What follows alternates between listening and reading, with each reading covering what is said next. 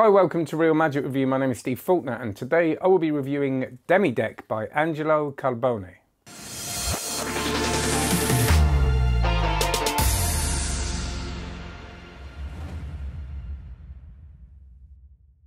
Before we do the review, very importantly, loads of stuff to say, so I'll try and say it quickly. I'm a bit of an here then, felt like a fly flew in it. Right, first off, onlinemagic.co. Uh, that's the thing that runs the whole thing. That is my membership site, which is wonderful. It's brilliant. Have a look at it. Don't take my word for it. I'm very biased uh, because I love it. I've been doing this for 10 years and uh, it's have a look at the Trustpilot reviews, have a look at the special guests that are on there. I've got to update the sites that are on there. It says courses available. There's more on there. There's a coin magic course, a rope magic course, a new uh, rubber band magic course, all volume one, going to be more, and loads of live sessions and special guests. Uh, the best magicians in the world on there. There is. That's good, isn't it? And my new podcast, Steve Faulkner's Magic Show. There is going to be advice on there. There already is. Uh, ask Steve. So you send me emails asking me questions or asking me questions on the comments here, some of which I will take onto the podcast. But importantly, the main bit of it, I've just recorded episode one of Beyond the Wand. Beyond the Wand and uh, there were some very funny versions of that title, uh, is is are is interviews with magicians, but not just about magic. Obviously, magic's part of it, but you know, saying to them, right, if you there was anybody in the world you could meet and go out with and hang out with, what would you do? And there's a load of questions about that. So it's looking into their lives behind what they do just with magic, and of course, banging on about magic. I will be a lot in that too. So have a look at that. Uh, the first episode should go up today or tomorrow uh, with my friend Noel Qualter. And you're going to be finding out some stuff about Noel that you would never have known or will never read anywhere else. Uh, it's good stuff. So that's Steve Faulkner's Magic Show, wherever you get your podcast. Please give it a search, leave it a review, and give me some feedback. It'd be great. Loads more people have agreed to do it, and some very big names in magic. So it's all very exciting. Right, uh, and like and subscribe, of course. Demi-Deck. Um, a lot of talk about this, a lot of hype about this. Does it deserve it? Well, that's what this is about. Uh, full disclosure, I have had this for one day. I've played with it a lot last night. I've used it a lot. I haven't taken out and done it in a gig. Don't have to to tell you the things I need to tell you now. If you haven't seen the trailer, do check it out. Uh, Angelo said to me, watch the trailer. I said, no, I don't want to watch it. I don't know anything about it. I had an idea before I get it, and uh, when I got it, I watched the trailer and got very excited. First up, Angelo is someone who I really respect. He, I know there's been stuff on Facebook that he's put on over the years of him just really working on different illusions, different effects, putting loads of time into it, putting loads of work into it, and this is no exception. And very wisely, I think he said, "I've been working on this for since 2002 was when he started working on it." Because he said, I've got a video from 2003, and he plays a video from early 2003, and it's this old version of it that he's playing with. And then he shows the sort of the build up to what he's got now. Now, this isn't done in a way I don't think of going, not going to overprove that this is, it's, it's just a wise decision because everybody says I've been working on this for 20 years, and you go, well, I haven't seen anything. And this is a genuine thing. And he shows you, doesn't spend long doing it, doesn't spend hours doing it, he doesn't try and hype it up to you when you're watching the tutorial of the trick you've already bought, which that kind of winds me up as well a little bit. Winds me up's a bit strong probably. But he he shows you a few versions of this. Tenyo made a version. Colin Rose made a version, but then said, look, if we release this now, I just wouldn't be able to make that many of them because I think a lot of people are going to want it. So over the years, it, he just kind of played with it and used it and performed with it. And now we have this because of the technology we've got now and the ability to produce these things. The trick is it's one of those ones that gets you. You watch it and you go, I really want to see that. Now it's you know talking about Tenyo. I love all that Tenyo stuff, but a lot of it I, I look at it and go, I, I wouldn't do this. It doesn't fit anywhere. This is kind of a version that does. It is cutting a deck of cards in half, putting it back together. And I love the way that you know on, on the trailer it says it says to a, an audience member, you know, when you think of a magician, what trick do you think of? Now we know nine times out of ten people are going to say sawing someone you have. And I get asked at so many gigs, so how do people do that? So it's this is something you can actually go right. Actually, I'll show you a version of it, and it it does look phenomenal, and it isn't just a trailer. It looks phenomenal. I've you know I've looked in front of a mirror. I'm not putting any footage on here of me doing it for a very good reason, which we're going to talk about in a sec. But I showed it to my friend James this morning. We have a cup of tea every morning. He knows what to look for now, and I didn't do it that well. And I don't mind with him because he kind of knows a bit. No idea. He was really, and because he's seen quite a lot now, he's kind of getting a bit wound up with it. So it's great for all that. You, very briefly, there, there's a routine with this you can do, which, which you get a gimmicked card with, which I think is nice. It's great. I would tend to just keep it pure, I think. I, I, I, it is really good, actually, when he does the thing. We'll reach inside and remove your card. What was your card? Queen of Hearts. look, I'll put it back inside, close it right there, and look very carefully. I'll pull it out just like this. 104 pieces, now 52 all healed. Are they not in half? Oh, oh my God, I only turned half. That's crazy. Because I flipped it over when I took it out. One second, this is actually super simple to fix. Barely an inconvenience. That's all good, brilliant. I love it. Really good trick. Maybe it'll work really well live for me, but my, my tendency would be to just do it as a thing, to just go right.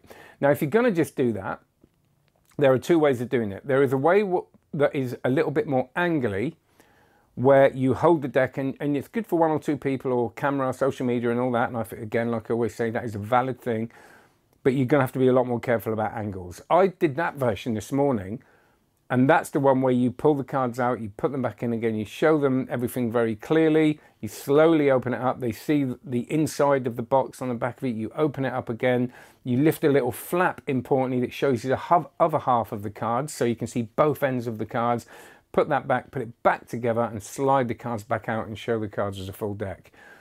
Brilliant. The second version is, he says, a little bit more advanced. It's not advanced really, it's just more to think about, where you show the deck a little bit more openly. It's all a bit quicker, but it's without putting the the uh, sort the this blade through. All right, because you're cut them in half, you're cutting them. This is without the blade. You just split it, put it back together. Da, da, da. Uh, and I didn't mention a blade thing before, but you'd have seen it on the on the trailer. That's uh, when you're doing it, you're thinking, oh yeah, I've got to be careful of that. And as he said, there's a few more things to think about, and it's a bit more of a quick kind of one-off, bang, bang, bang. We're going to do this right. Let's get on with it, kind of trick. And then you've got the routine and various other ways of doing it you will come up with. The important thing with these kind of tricks is, is it built well? Is it going to last? How angly is it? How easy is it, which is less important to me. As long as it's doable, I'm happy, but you don't want it to be completely impossible. It's built, it, now I've, obviously I haven't had it long, it seems to be built well. Now, full disclosure, the blade bit I got with it came apart a little bit, and I've put it back together with a tiny bit of super glue, all right? If I'd have bought it, would I have been bothered with that? No, because it's not the main unit, and I get a feeling that's not going to happen with many people. If it does, don't come back to me. But you know, the, it's just a tiny little thing. It wasn't like it all fell apart. And I thought, oh, better sort that out. The rest of it, I've you know, I've, I've really kind of all evening, yesterday evening, just kind of doing it and making sure it didn't loosen, it didn't go weird, nothing came off, nothing. You know, the flap that you open. And by the way, the flap that you open to kind of that convincer of showing the other half of the deck is a bit fiddly. They do talk you through it, but you've got to kind of do something in order to. So when you do it, if you don't watch the instructions, you may kind of struggle with it. That takes a little bit of practice just to feel the right place to do what you've got to do. But everything else, when the other thing is when you tip the cards out, you've some sometimes one or two will get stuck in there, and you not stuck, but will stay in there, and you've just got to kind of feed them out again. With practice, with working on it, that isn't going to be a problem. But all these things are easy. This is why I'm telling you all this. So it makes you feel like you can go out and do it straight away. Angles, again, you're going to have to be wary of them, but they're not difficult angles to think about. Basically, you do this version of people there. If there's people around, you do this other version. If there's people totally around you, looking behind and over your shoulder, you probably won't do it at all. Yes, you could kind of do it at a lower level, but I wouldn't do it. There is an angle thing here. I wouldn't call it an issue. It's the same as a lot of things like this you are going to have to practice your angles, know where to do it, and when you do the trick, you're going to feel vulnerable, but you'll be all right. Is my is my feeling once you've done it a few times. When I showed my friend this morning, I was like, "Is he seeing this?" But not at all. Very magical, great effect. So it's an easy trick. But it seems that many people have gone out and gone, right, I can do that. And that's kind of how it makes you feel. If I stick it on social media, I'll film it, I show and you have to think about the subtle bits of this. Now, subtlety doesn't mean difficulty. These are very easy things. But with these kind of tricks, there are maybe three or four things you want to be doing with your fingers and hands that none of which are difficult that have to be unconscious. You're not you don't want to be doing this going, right, if I do that, oh yeah, I've got to do that. I've got to do that. And because that creates this kind of cagey feeling and this feeling of processed, whereas you want to not be thinking about any of that stuff. You want to pick it up, know exactly what your hands are going to be doing to do what you need to do. There's no real, it's not like palming or anything. When it takes years to get it looking natural, it's going to look natural because at each level of it, you're holding something. It's not like you've got a palm and hold out something and make your hand look natural and pretend it's not holding anything. It's all kind of in context. But if you're not careful, like some people have done, I think, is you'll kind of go, oh, this is really easy. I can do this straight away without thinking about those things you have to rehearse. And what you have to rehearse is the equivalent to really, you know, rehearsing putting that into that hand and not putting it like that. You know, it's it's kind of a way you put your hand, it's the way you, way you hold your hand, it's the way you open the thing. All of it takes no skill whatsoever, but it takes unconscious competence that you know exactly where your hands are going. So you can talk when you're doing it, and you know they can be burning it, but you just want all that right so you're not feeling cagey about it and looking cagey about it. Now, you will get away with it if you do that, but it will be a little bit like a kid showing you a magic trick. You know, if a kid shows you, you know, a 10 year old trick or something like that, I'm not saying 10 year old tricks are just for kids, don't get upset. But, but you can see they're kind of going, oh, this, this, this. But when they practice and it looks smooth, it's really amazing. The, the little details and subtleties with this are what really makes it work. So when you put the blade in, and open it up, you see the blade and the bottom of the box, and that means more than you think. There's a lot of work gone into that. There's a way of kind of not using black art, but making sure that bits that could potentially flash a lot don't flash a lot, and you've got sort of a little bit of leeway and forgiveness there. It feels well made. As I said, nothing's really come apart, and I've sort of, you know, given it a bit of work. It is a kind of unusual to us looking card box. So my feeling is that when you've done the trick, you're going to either want to do it first and then go on to it and do a, a load of magic tricks, or do it at the end when you put the a load of card tricks and do it at the end when you put the cards back in. You know, do the thing and then put put it away. It's not examinable. It doesn't have to be examinable. It doesn't bother me. And you know, they're going to be so blown away by what they definitely have seen, which is a deck of cards, and they can of course examine the cards, which is great because that's the thing they're going to be going. Is it, you know, what, how have these come apart?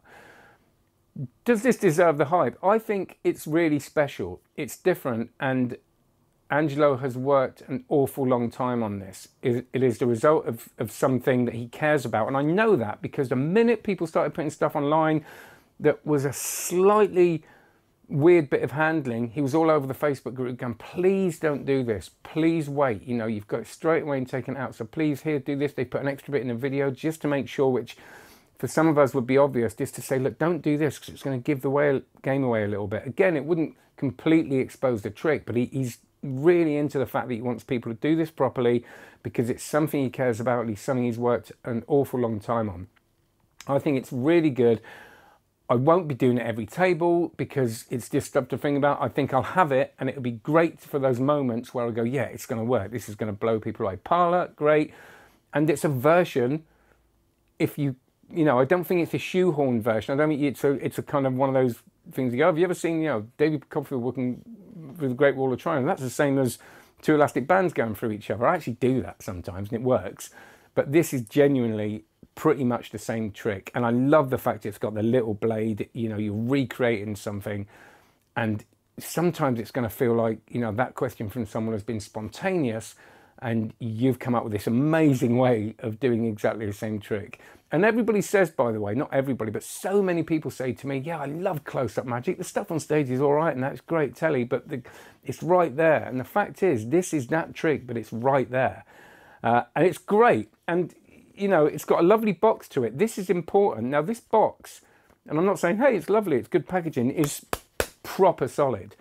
So it gives you something, you know, to, to carry this prop in and to make sure it, it keeps well sort of thing. So I would, you know, I wouldn't chuck this in my close-up case you know, it, without this box. And I think I like the fact it's not massive, it's just a bit bigger than the thing, and it's somewhere to keep the prop.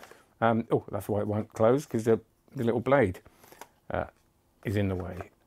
Uh, yeah, but I think it's a, it's a good release. I think it's solid, and anybody having a problem with it just hasn't practiced with it, and you haven't got to practice that much, really. Uh, I'd love to hear what you think. Uh, that is Demi Deck. Congratulations to Angelo um,